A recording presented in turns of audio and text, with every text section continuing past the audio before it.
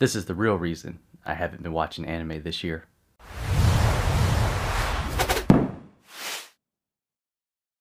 Hey everybody and welcome back to Droobz Vids and another video. In today's video, I'm going to be talking about quite the revelation it may seem to some of you out there, but I haven't been watching anime this year.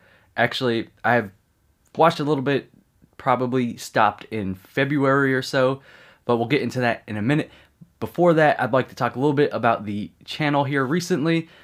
I've been doing these daily videos, I think this is day four now, and if you guys have been enjoying the videos, I hope you have but if you have been enjoying it, appreciate it. And yeah, so I was looking at some analytics and stuff. I true I choose I don't why did I say choose? I generally don't try to bore you guys with stuff like, you know, the YouTube analytics stuff on the channel. But yeah, and before I get all that, this is a talking head video, so you know, you guys can go ahead and minimize it, do whatever you got to do, listen to in the background. But yeah, so like I was saying, I try not to bore you guys with all the numbers and stuff like that. But recently, since I started doing the daily uploads here, at least for this week, I noticed that the percentage from subscribers and non-subscribers is huge. And it's looking like 89.3% of you guys out there that are watching are not subscribed. And as many of you may know, I usually wait till like the very end of the video to, you know, ask you guys to like if you like the video and subscribe if you want more content. But that's my choice. That's typically what I like to do. So that way I'm not that guy, right? I'm not all in your face about, yo, hit that subscribe button every 10 seconds. Don't forget to hit that subscribe button. You know, stuff like that. I just don't think that's relevant in terms of what I create for content. So with that being said, hit that subscribe button and let's get into this video. So, with all that, God, that was the worst transition ever. But yeah, so like I was saying, anime. If you guys have been watching the channel for any amount of time, you know I'm a big anime fan. I've watched a lot of anime, but this year was a little bit different. You know, I ran into some health issues and you know a few other things in my personal life, so I don't know if that was it because normally what I do when I'm watching anime is I, like to take a break, and it's usually around the winter season that I take a break from anime as not to burn myself out from it. So this year, what I did differently, like I'll I'll catch up on like some other shows, you know, American TV shows and stuff like that. But this year was a little different because I actually went off some recommendations from you guys out there for some Korean TV shows.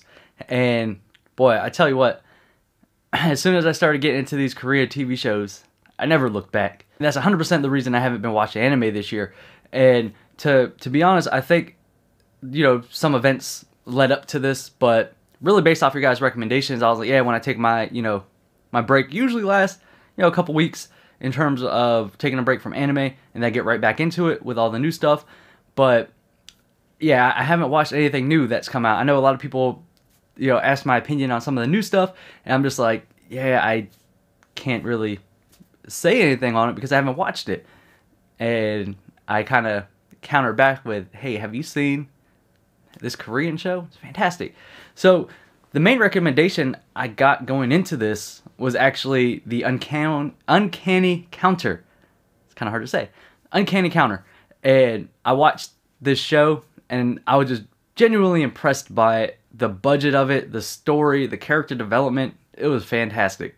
So I had the the second recommendation on my list was Sweet Home, which was really good too. That was so Uncanny Counter. I guess you kind of think of as the South Korean version of Mob Psycho.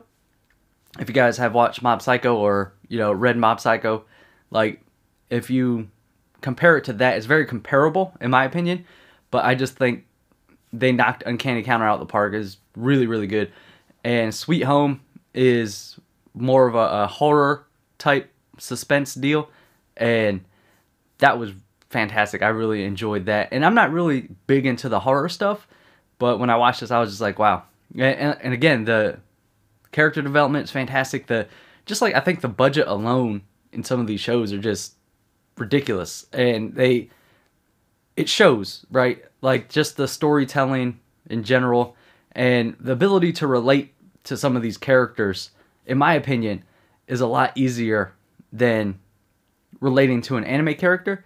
If you think about it, or at least the way I see it, is because you got your anime characters. Obviously, they're voiced by real people, but at the end of the day, they are drawn characters. Now, in these Korean TV shows, a lot of people refer to them as K dramas, so we'll just refer to them as that going forward here in this video.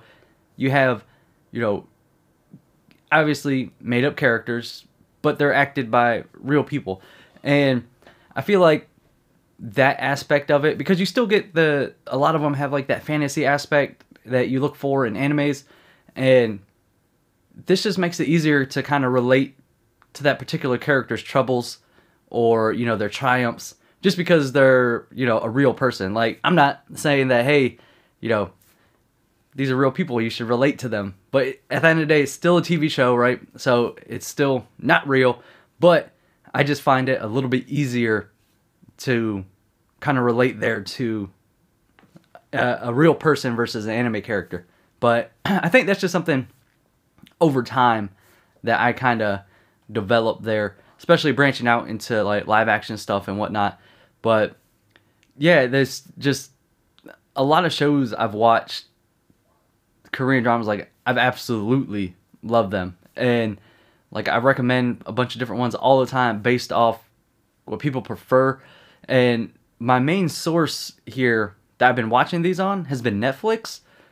But shout out to my buddy George. He a- he actually has one of those uh, Plex servers that I'm able to, I guess, request shows and they get downloaded, so I can watch them on there if Netflix doesn't have it.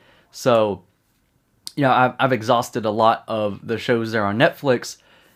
So now I'm able to watch all these other shows. Some of them are older, which, you know, to me, I never would have like sought these out, right? I never would have sought out some older K dramas, but after watching the ones I have, I'm kind of like, man, I need to, you know, look up, you know, what popular K dramas are out there and just check them out and see how they are and see what I've been missing out on. And it's funny if you think about it because now going back to watch these older K dramas that I previously missed out on, I feel like I don't know, maybe that same thing's gonna happen to me with anime.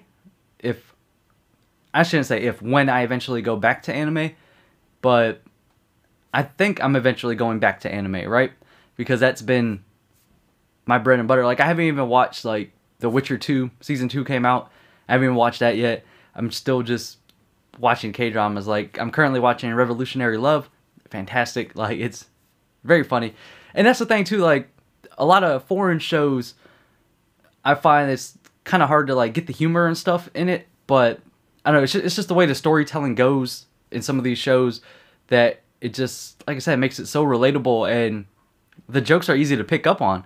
And you know, sometimes like it, that gets lost in translation. Like even in anime, you'll see it like they'll tell a joke and then you'll kind of just be a little lost, especially if it's not you know your culture that you grew up with, right? So it's just something about the way they're able to tell the story and develop the characters, and that's the the big thing I've noticed too is that character development is like you know some of the best I've seen in shows, in my opinion, and you know I'm a big fan of character development and and support characters because I really think that's what makes the main character tick is that support character and how they develop.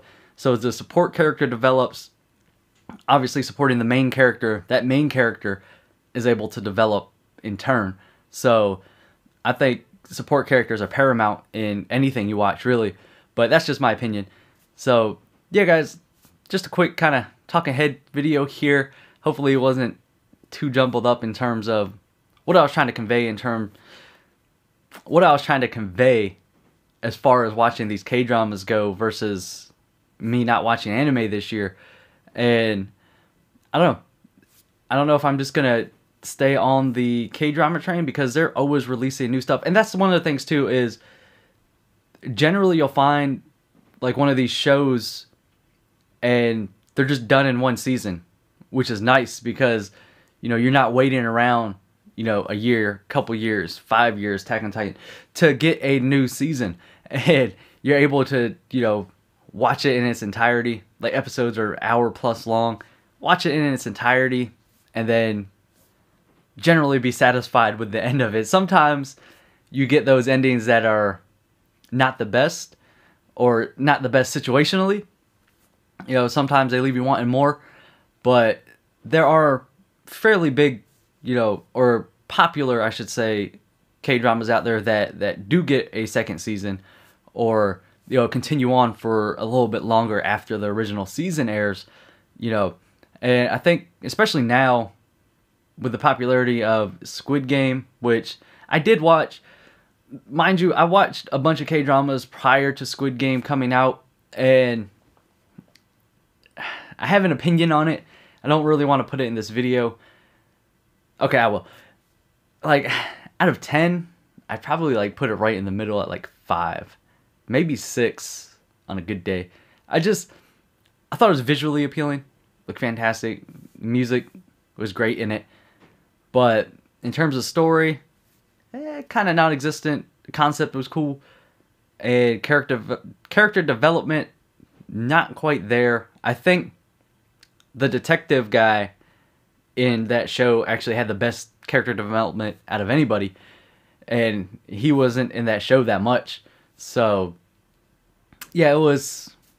Uh, there's some weird dynamics going on in that show, but yeah, I got you know I'll settle on six. I'll say it's six out of ten.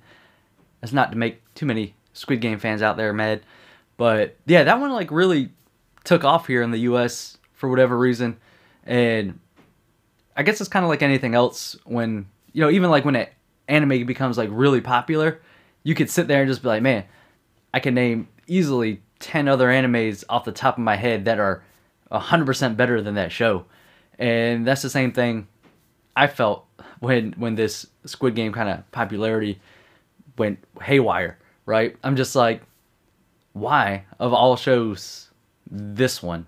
There's so many better ones out there, but yeah, guys, I don't want to take up too much of your time today, but yeah, that's kind of going to be it for this video. If you guys have been watching any type of Korean TV shows, K-dramas, let me know down in the comments below which ones you have watched, and if you have any recommendations for, for me. I have watched a bunch of them. I don't want to sit here and list off, you know, a whole lot. But if you just let me know down in the comments below, I'll let you know if I've watched it or not yet. And, you know, we'll go from there. And like I said, if you guys got any recommendations, please let me know. And if you do want to discuss some of these shows, you know, just hit me up on Instagram. And, you know, we can have a discussion if it's something I watched already. If not, I will be adding it to my list. And, yeah, if you guys like this video, please give it a thumbs up. If you want to see more content, hit that subscribe button. And I'll see you guys on the next video.